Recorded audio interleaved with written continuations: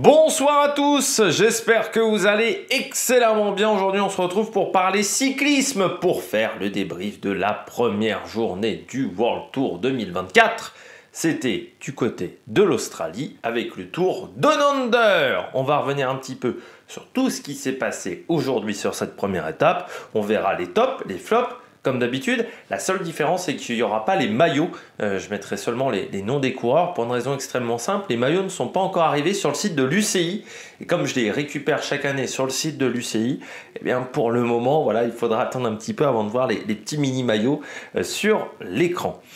N'hésitez pas à vous abonner à la chaîne, à réagir dans les commentaires, à mettre un pouce bleu, à partager la vidéo sur les réseaux sociaux, notamment auprès de vos proches si vous pensez que ça peut les intéresser. Dans les commentaires, n'hésitez pas à me dire qui vous a plu, qui vous a déçu. EPS 2.0, c'est sur les plateformes de podcast Amazon, Deezer, Spotify, Google. Et puis TikTok, le débris des compétitions en direct, euh, notamment le biathlon en ce moment.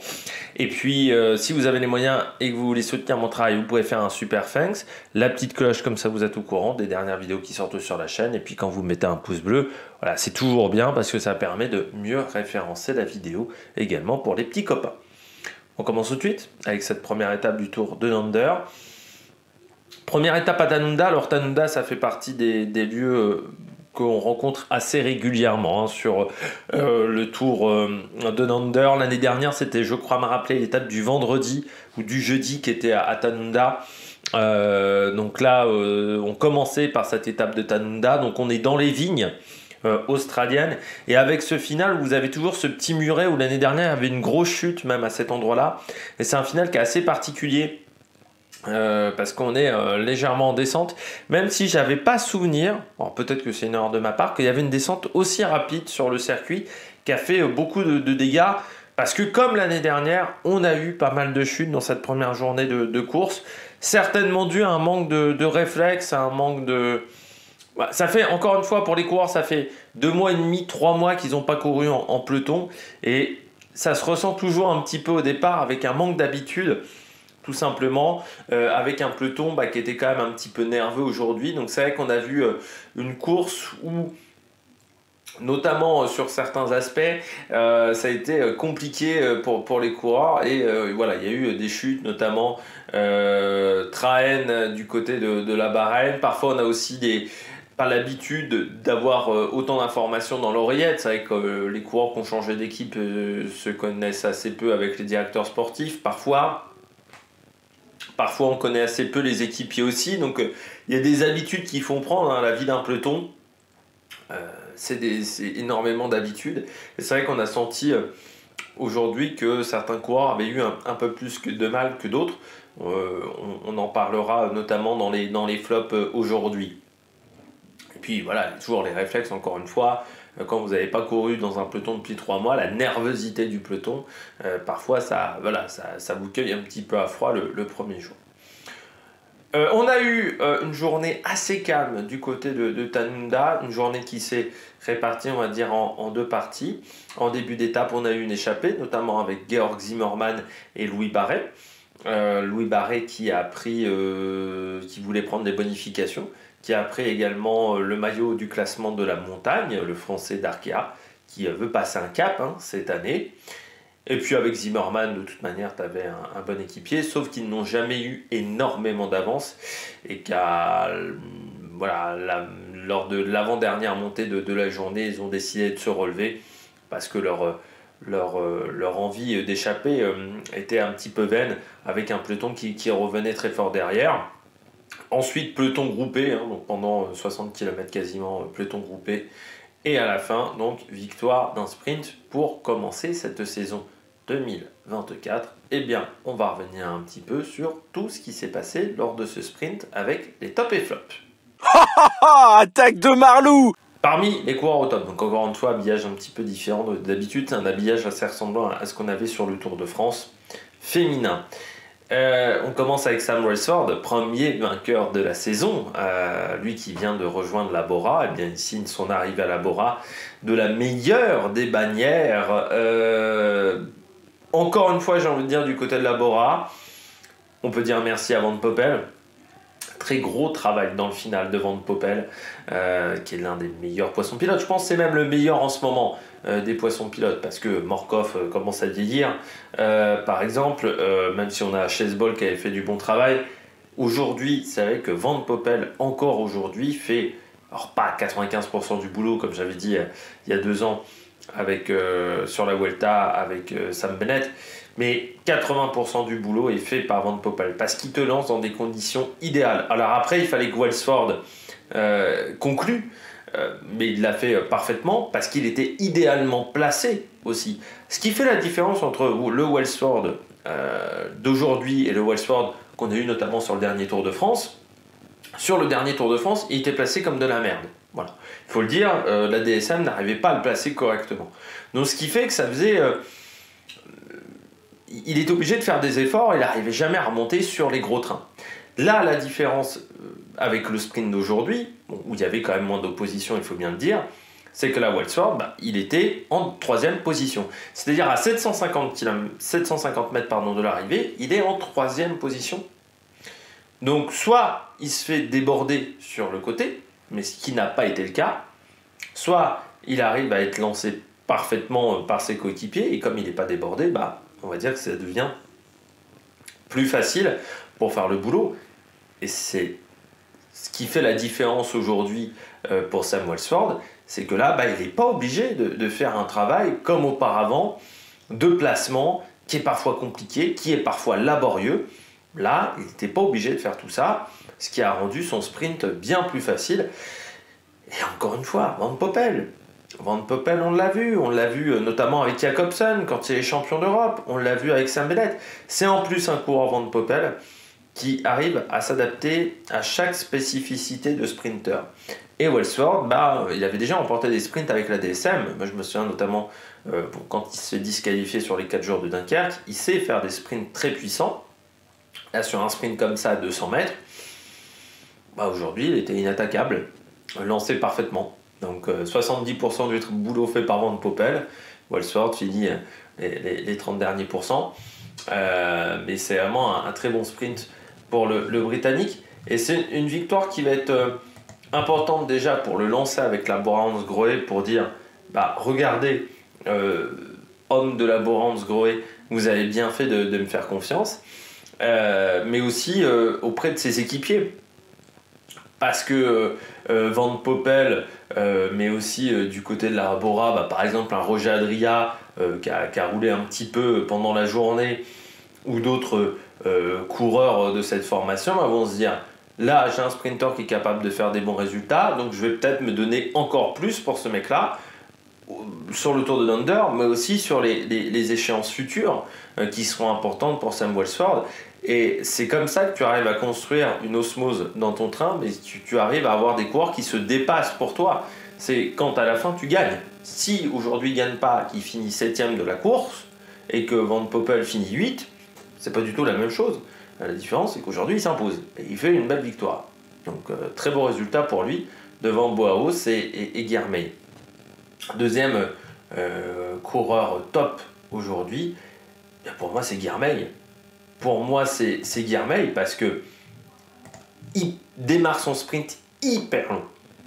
Il est hyper mal placé dans son sprint. C'est-à-dire que, j'ai envie de dire un petit peu comme d'habitude chez Intermarché, on a mal lancé Guillermeil. Par contre, à la différence de d'habitude, on n'était pas trop tôt devant. Mais on était un petit peu inorganisé. Alors je m'attendais pas à des merveilles euh, sur ce tour de Number au niveau du train euh, d'Intermarché parce que on a une équipe qui, qui, sera pas, je pense, l'équipe qui sera autour de Guillermeil euh, sur les grosses courses de la saison. On est sur une équipe où on sent qu'on veut jouer avec Zimmerman, avec Almejan sur des échappées peut-être, et euh, qu'on joue un petit peu les sprints avec Guillermeil. Le problème dans le recrutement d'Intermarché, c'est qu'on n'a toujours pas réglé le problème du poisson pilote. C'est-à-dire que euh, c'est un coureur qui, qui a besoin d'un poisson pilote et qui n'a toujours pas de poisson pilote. Ça, c'est un souci. Euh, parce que aujourd'hui, c'est l'un des rares sprinters qui n'a pas véritablement de poisson pilote.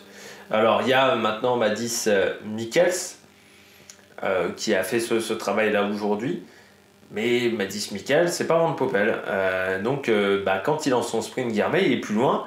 Mais déjà parce que à 4-5 km de l'arrivée, Intermarché est un peu débordé de toutes parts. Et surtout, c'est mal organisé du côté d'Intermarché à ce moment-là. La Bora, si tu regardes en comparaison, à 5 bornes de l'arrivée, ils sont loin, sauf qu'ils sont groupés à ce moment-là, à Bora. Ils arrivent à ressortir à 3 bornes, à 2 bornes et demie, 3 bornes, euh, donc vraiment au dernier moment, mais ils sont groupés, ils peuvent faire ça parce qu'ils sont groupés. Du côté d'Intermarché, on n'était pas très bien groupés. Et c'est ce qui fait la différence entre une structure comme la Bora qui arrive à emmener parfaitement Wellsford aujourd'hui, parce qu'aujourd'hui c'était du coup humain pour Wellsford, par rapport à Guermey, bah, euh, qui est obligé de contourner des coureurs parce qu'il lance son sprint de loin. Par contre, encore impressionnant je trouve, le sprint que j'ai vu aujourd'hui de Guermey me rappelle énormément le sprint qu'il avait remporté sur le Tour de Suisse l'année dernière. Il fait un sprint déjà aux alentours de 300 mètres, mais un sprint surpuissant. Et surtout, c'est l'un des rares qui reprend du temps à Wellsford sur la deuxième partie de son sprint. Parce que Wellsford, il démarre fort son sprint et il arrive à bien stabiliser la vitesse. Euh, par rapport, par exemple, si on compare à un Boaos qui n'arrive jamais à revenir sur lui, qui, sur la deuxième partie de sprint, est à vitesse équivalente. Guillermey, sur la deuxième partie de sprint, il revient. C'est-à-dire que quand on regarde les 60 derniers mètres, Guillermey, il va plus vite que Wellsford. Il va plus vite que Boaos. C'est dommage, que bah, il a été mal placé. Donc ça sera le, travail à réaliser demain, encore mieux euh, placer Guillermet, parce qu'il a l'air d'être en forme en ce début de saison. Et euh, surtout, euh, bah, encore une fois, ça fait partie des, coureurs qui sont capables de faire des sprints longs. Donc s'il est placé correctement, imaginons que là il est dans la, dans la route Wellsford, Aujourd'hui, il aurait pu surprendre Wellsford en partant plus tôt. Sauf que comme il n'est pas dans la route Wellsford, qu'il est 3-4 roues derrière, parce que c'est Caleb Ewan qui a la roue de Wellsford, bah là il peut pas faire le job, il peut pas remonter sur Guermey. Sur, euh, pardon, sur. Donc c'est ce qui fait la différence du côté de Guermey. Mais je trouve que du côté d'Intermarché, voilà, on a une pépite. Ça serait bien de m'entourer un peu mieux. Parce que de temps en temps, euh, voilà, c'est un peu compliqué. Bon, on verra demain euh, comment ça se passera autour de, de l'Érythréen, parce que j'espère que le sprint sera bien meilleur. J'ai oublié, pardon, un rototo, parce que j'enregistre, il a après mangé. Donc, j'ai fait mon petit roux comme les enfants. Je précise, si vous entendez des petits bruits euh, d'ondes, je m'excuse, mais euh, je, suis, en train de recharger mon, téléphone. Je n'ai toujours pas d'internet. Hein. nous sommes le, 16 janvier depuis le 26 juin dernier. Hein, au niveau de performance euh, du côté d'Orange. Et donc bah là, pas de chance, mon téléphone n'avait plus de batterie. Voilà, donc j'ai été obligé de recharger. Normalement, j'essaie toujours de me débrouiller pour pas recharger, pour avoir le téléphone qui soit loin du micro, pour éviter que ça fasse, ça perturbe au niveau des ondes. Et là, si vous entendez des petits bruits d'ondes, je, m'en excuse, mais voilà, euh, je pouvais pas décaler l'enregistrement. Là, j'enregistre, c'est déjà 21h13, c'était déjà un petit peu tard. Je termine avec le troisième coureur top, Narvaez. C'est vrai que on, en a parlé un petit peu dans les commentaires de la vidéo de présentation hier du Under qui est arrivé tard. On disait euh, Ghana était peut-être pas forcément le leader de l'équipe. Euh, c'était peut-être plus euh, enfin voilà que Ghana disait qu'il n'allait pas être le leader de l'équipe, qu'il allait jouer l'équipier. Et moi j'avais dit euh, en répondant à ce commentaire-là, ah bah ça peut être bon pour Narvaez, parce que j'avais dans l'optique de me dire Narvaez, il est capable, pourquoi pas, de prendre des bonifications au sprint. Et euh, Vilunga Hill et le Mount Lofty, euh, c'est des côtes qu'il est capable de passer aujourd'hui Narvaez. Donc ça peut être vraiment le coureur sur lequel miser. par exemple, vous avez une grosse cote, bah, Narvaez, ça peut être un coureur intéressant. Et aujourd'hui, bah, il a fait le job. Déjà, il prend une seconde de bonification mais ensuite il finit à cinquième du sprint, donc il montre qu'il faudra qu'il faire attention à lui, surtout que là encore, du côté euh, de Narvades, il n'est pas très bien placé, il est encore derrière euh, Guermel, donc il remonte très fort aussi sur la deuxième partie du sprint. Donc demain, sur une étape où euh, il y a des bosses, peut-être que certains sprinteurs vont passer mais seront un petit peu fatigués, eh bien, lui, il peut peut-être faire la bonne opération du jour demain en prenant des bonifications à l'arrivée. Donc, il faudra faire attention à, Jonathan Narvaez euh, du côté d'Ineos, parce que ça peut être un coureur très intéressant demain. On passe tout de suite au bonnet d'âne. Du côté des bonnets je voulais déjà euh, d'abord commencer du côté des bonnets d'âne. Euh, j'ai pas parlé là des maillots, mais c'est vrai qu'on est en début de saison. Euh, moi, j'ai essayé pendant toute l'étape de repérer un petit peu de comment voir pour repérer les, différents maillots rapidement et les différentes équipes, parce que des fois, c'est pas forcément au maillot qu'on les repère. Alors déjà, bonne nouvelle, faudra voir sur des conditions un peu moins ensoleillées, parce que c'est vrai que le Under, c'est des conditions où il y a énormément de luminosité avec le soleil. ce qui sera pas le cas sur toutes les courses du début de saison. Mais entre la Groupama et la Movistar, je trouve qu'on ne voit plus la ressemblance entre les deux maillots. Euh, du côté de la Groupama, on voit bien la différence de, couleur entre les deux épaules que n'a pas la, Movistar, donc ça je trouve c'est bien. Par contre, entre Movistar euh, et Decathlon, c'est pas si évident que ça de voir la différence parce que quand le coureur il est bien penché sur sa machine, bah, le bleu de Decathlon est assez ressemblant avec le bleu au niveau des épaules de la Movistar, je trouve. La Bora, on les reconnaît parfaitement. Déjà parce que le casque, vous avez la manche, mais en plus le casque est aux couleurs de la manche. Donc c'est vrai que la Bora avant, on avait parfois des petits soucis pour la reconnaître, notamment avec Kern Pharma, mais des fois avec d'autres formations, il y avait du bleu foncé, parce que le, vert, des fois, avait, tu vois, c'était dans des couleurs où la luminosité n'était pas exceptionnelle. Euh, on avait du mal à repérer la différence de couleur entre Groupama, toutes ces formations-là. Là, je trouve que la Bora, c'est vraiment excellent. On voit la différence. Euh, du côté de Jaiko Alula, moi pour l'instant, j'ai pas eu de soucis au niveau du maillot. Du côté de Bahreïn et UAE, c'est le casque qui fait la différence. Il y a du bleu sur le casque parce que le bleu sur les manches, on le voit à peine du côté de la Bahreïn. Le blanc de UAE, il va foutre la merde sur les caméras d'hélicoptère parce que c'est vraiment un blanc éclatant, mais vraiment éclatant. Et par rapport au maillot blanc euh, du prochain Tour de France, euh, peut-être qu'il faudra changer la couleur ou remettre des bandes noires parce que là, c'est vrai que c'est problématique. C'est vrai que, comme je disais, Jaiko Alula, on les remarque assez bien euh, parce que le casque rouge avec maillot, le haut du maillot bleu, on les repère facilement.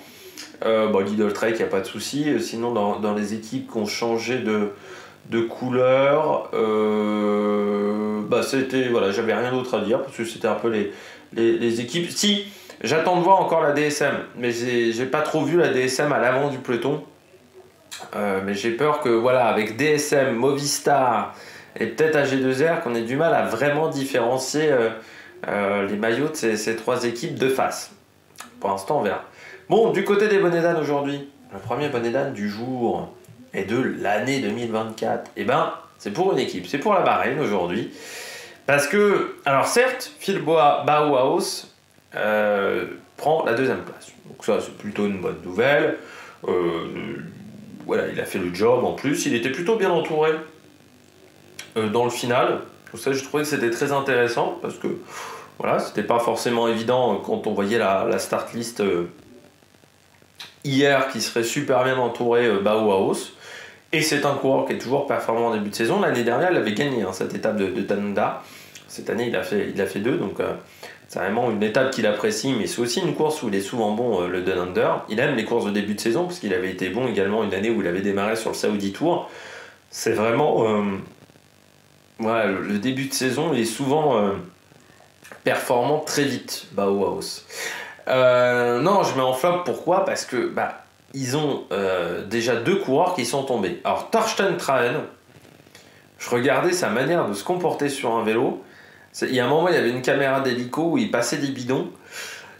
J'avais très très peur quand il passait les bidons. Il y avait un coureur de la Jumbo à côté qui était très proche de lui. Il y a un moment, ça a même frotté épaule contre épaule. Il n'était pas hyper à l'aise euh, dans le peloton. Et même, je crois qu'à la fin, il est euh, soit à l'arrière ou soit il, perd même du temps aujourd'hui. Euh, parce qu'il y a quelques coureurs qui ont perdu du temps, comme James Knox. il y a également Ghana qui a perdu du temps il y a une, quinzaine, vingtaine de coureurs qui n'ont pas fini avec le peloton. Et Torsten Krahen, je me suis dit, oh là là là là, ça fait un peu flipper la manière dont il court euh, dans le peloton. Et je me suis dit, hmm, je comprends mieux pourquoi il tombe souvent, Torsten Krahen. C'est quand même un coureur qui est, souvent à terre. Je disais, la technique sur le vélo, il y a peut-être encore du, travail à faire hein, du côté du Torsten, euh, Torsten Non, par contre, je suis inquiet, c'est pour Buratti. Grosse chute de Buratti dans, dans la descente à, c'était entre 9 et 8 km de l'arrivée. Savoir que les caméras euh, n'ont pas montré la chute de Buratti parce qu'ils étaient avec un coureur de, la sélection australienne à ce moment-là. Mais euh, la chute s'est déroulée en descente euh, au moins 80 km/h. Il était vraiment râpé, Buratti, et surtout quand il est remonté sur le vélo, c'est ça qui m'inquiète pour demain. c'est que j'avais l'impression bah, qu'il n'était pas au top de sa forme, que ça boitillait légèrement. Le coup de pédale n'était pas tip top, donc on va voir demain. Ça serait dommage quand même du côté de la Bahreïn de perdre un coureur. Traen, il est quand même, il a failli tomber une deuxième fois, mais il est tombé une fois également en début de journée. Et puis aussi du côté de la Barenne, il y a un coureur qui a fini très loin sur cette étape. Alors, je ne sais pas ce qui s'est passé pour lui, parce qu'autant Bourati, j'ai vu la chute. C'est Johan Price Peterson, alors qui a roulé un des moments, mais qui finit à, 16 minutes, donc quasiment. c'est, il était à 8 minutes de la fin des délais, hein, donc c'était pas exceptionnel pour lui. Donc là, euh, Price, Peterson, je ne sais pas ce qui s'est passé pour lui, peut-être un, problème, un déficit physique, mais qui a fini dernier de, l'étape, donc ça fait beaucoup.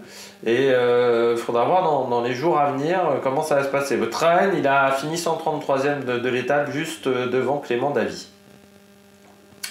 Voilà, à 4 minutes 27. Clément David a fini à 7,21. En parlant d'un groupe AMA FDJ, on ne s'attendait pas à grand chose hein, euh, sur ce tour de Londres, mais je pense qu'il va vraiment pas falloir s'attendre à grand chose parce que euh, je ne les ai pas vus de la journée quasiment. Euh, ils ont été très très très discrets. On verra Rudy Mollard peut-être, mais bon, à part Rudy Mollard, je crois qu'il n'y aura pas grand chose à jouer du côté de la groupe AMA FDJ. Deuxième flop, alors vous allez me dire que je suis sévère, c'est Caleb Ewan. Pourquoi je mets flop? Pas du tout sur le placement. Je trouve que même au niveau du placement, là, il avait confiance dans son train, ce qui était rarement le cas à l'Auto Destiny. Ça, c'est plutôt une bonne chose. On peut saluer, notamment euh, du côté de la Jayco euh, Alula, l'énorme travail de Luc Plap. Parce que Luc Plap, il s'est amené en tête de peloton euh, quasiment au, pied de la descente. Donc à 5 km 500 de l'arrivée, un truc comme ça. Il a fait au moins 2 km et demi, 3 km en tête de peloton. Solide, hein, Luc Plap on le sait, c'est toujours le cas en début de saison. La question est de savoir si Luc Pape il arrivera à être solide également euh, au mois de mai. Mais j'ai trouvé ça très intéressant. Non, ce qui m'inquiète du côté de Caleb Ewan, c'est son sprint. Parce qu'il est placé dans la roue euh, de Sam Wellsford. vous allez me dire, il est passé dans sa roue, il finit troisième du sprint. Euh, quatrième, pardon, du sprint. Donc, bon, c'est pas une catastrophe. On pourrait dire ça comme ça. Sauf que son sprint, en réalité, au départ, il prend un peu de vitesse, mais déjà, je trouve qu'il en prend moins que Wellsford Boaus. Donc, il se fait un petit peu larguer déjà sur cette première phase du sprint. Et surtout, il ne tient pas à 60 euh, mètres de l'arrivée. Lui, il craque complet. C'est-à-dire qu'il euh, arrête quasiment de pédaler. Il peut plus se mettre en danseuse. Et là, je me dis, le sprint était certes un petit peu en faux plat montant, mais c'était quand même à Tanda, pas un sprint de, fou furieux. Euh, qu'il n'ait pas la caisse sur un sprint comme ça, c'est moyennement rassurant pour la suite. Alors est-ce que c'est voilà un souci de matériel, ce qui peut peut-être arriver, j'ai pas l'impression du côté de, de Caleb mais je trouve que c'est vrai que son sprint était euh, pas fameux, donc je suis un petit peu inquiet pour lui. Si je me dis, est-ce qu'il a la caisse pour la suite de la course? Pas sûr du tout. Euh, et ça serait dommageable euh, et ça serait un mauvais signe par rapport à sa formation, en sachant qu'on a quand même l'impression que du côté de Jaiko Alula, le Tour de France à sa Ronovegan, euh, donc c'est-à-dire qu'Alebe serait sur le Tour d'Italie et surtout il n'aura peut-être pas forcément l'équipe type autour de lui. C'est-à-dire qu'il devra peut-être partager avec un grimpeur, ça c'est sûr, mais aussi euh, qu'il aura peut-être pas beaucoup de, lanceurs avec lui. Euh, donc ça, c'est pas la bonne nouvelle du jour du côté de Caleb mais c'est dommage parce que ils étaient vraiment parfaitement placés à, 2 km. Il y a juste Labora qui euh, était passé devant, mais parce qu'ils sont sortis beaucoup plus tardivement, Labora, hein. ce qui peut parfois être très risqué. Donc je dirais que le, travail en amont de Caleb Ewan était très bon, que le placement de Caleb Ewan était très bon. Mais sur son sprint, c'est le déroulé de son sprint qui m'inquiète un peu. Et puis je termine euh, par Elia Viviani. Elia Viviani, c'est quand même très inquiétant, n'a même pas fait le sprint. C'est Narvaez aujourd'hui qui fait le sprint. Viviani est au départ. Hein. Ceux qui pourraient se demander, ça, Viviani est au départ, sauf que Viviani n'a même pas fait le sprint. Ça, je trouve ça assez incroyable. Viviani, il termine 32e aujourd'hui. Il n'a même pas lancé pour Narvaez. Il n'a eu aucun impact sur le sprint. Alors, est-ce qu'il y a eu un raté euh, dans son placement et dans le fonctionnement de, l'équipe? Ou est-ce que tout simplement euh, Viviani euh, n'avait pas les jambes aujourd'hui? Mais bon, vous savez, mon, avis sur Viviani, c'est que j'ai l'impression aujourd'hui qu'il il est bon sur la route et qu'il a un petit peu de mal dans d'autres domaines, c'est pas très rassurant pour la suite. Ça m'en a même fait bailler, dis donc. Euh, mais oui, du côté d'Elia Viviani, euh, je trouve ça pas très rassurant, le fait qu'il ne sprinte pas aujourd'hui. Hein. Euh, c'est quand même un sprinter numéro un dans, dans, les formations où il passe, normalement, Elia Viviani. Donc le fait de ne pas le voir participer à un sprint, c'est pas vraiment rassurant pour le coureur italien.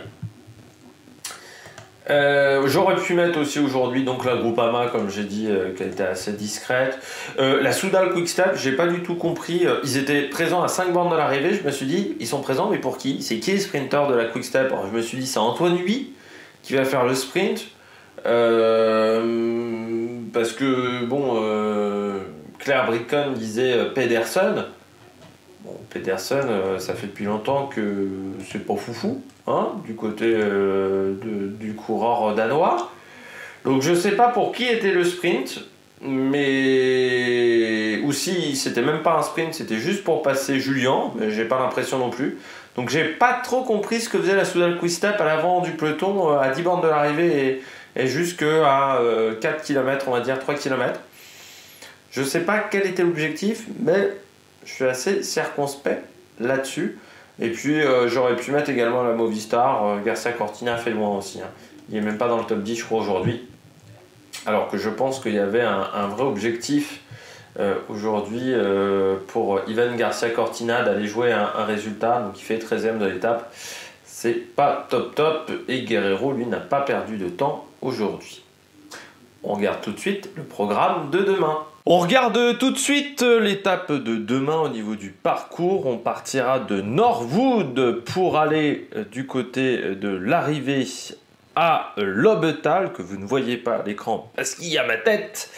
147 km, ça commencera, en fait ça sera un, parcours, un circuit euh, d'une euh, quarantaine de kilomètres qu'il faudra faire à, plusieurs reprises pour cette étape on aura euh, une côte en fait euh, qui sera à Ashton, 10 km à 4,3 de moyenne, côte de 10e catégorie. Donc on partira au pied d'une côte, une côte assez roulante, hein, comme vous pouvez le voir.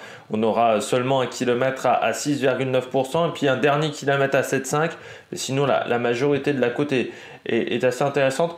Enfin est, assez roulante pardon. En sachant que j'ai bien aimé euh, tiens un truc qui devrait être refait euh, sur d'autres courses. Je trouve que l'infographie pour présenter les côtes sur le parcours du Down je trouve que l'infographie en général du Down est bien faite mais je trouve que l'infographie les petites vidéos qui sont faites euh, pour annoncer un petit peu les, difficultés sur le parcours, je trouve, sont très très bien réalisées et très instructives. donc ça, c'est un truc que pourrait reprendre d'autres courses.